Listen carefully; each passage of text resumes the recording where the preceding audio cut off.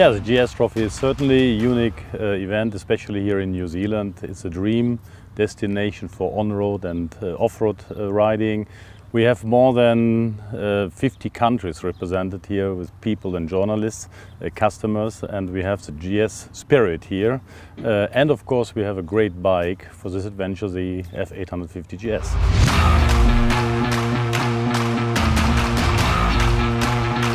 I mean, the GS spirit is really uniting people all uh, over the world and uh, it doesn't really matter whether they drive uh, a 1250 uh, GS, a 1250 GS Adventure, an 850 GS or even a 310 GS. Um, they all one big GS family.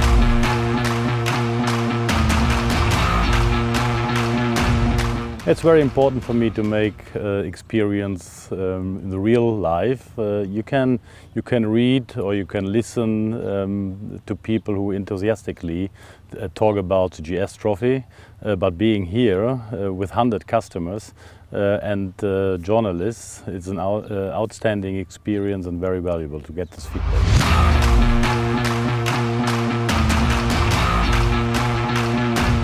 Yeah, the International uh, GS Trophy is really an event which unites the people. And they, they did the qualifying, they are competitors, but they want to celebrate this event. And that is um, a perfect uh, situation here in New Zealand. We have great weather here, we have uh, great uh, tours, so it's uh, outstanding.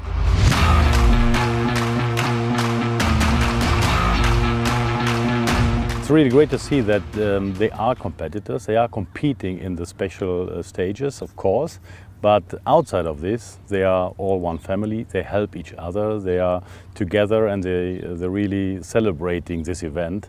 Uh, so you're right, it's a, it's a great mixture of both.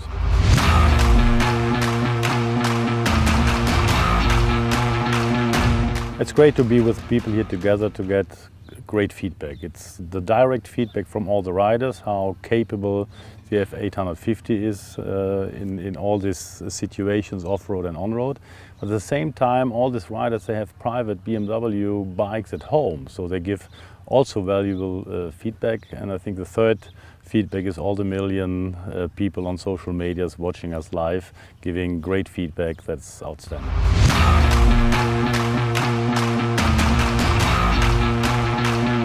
New Zealand this is a dream. You cannot really imagine it. You, you see teaser videos beforehand, you, you see pictures, you see people uh, riding on a beautiful white beach and you think, well, that's great. But if you then do it on your own with uh, 20 um, people riding on a beach, it's just overwhelming.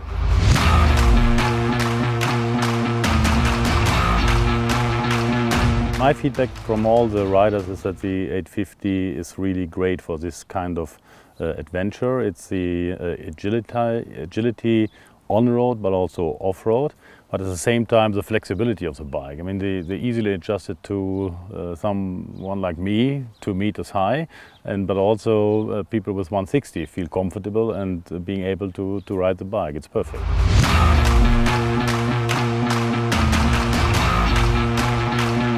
Yeah, I mean, with, with the International GS Trophy in New Zealand, we kicked off the celebration for the 40th um, anniversary of the GS, and I think it is a perfect birthday present for the GS.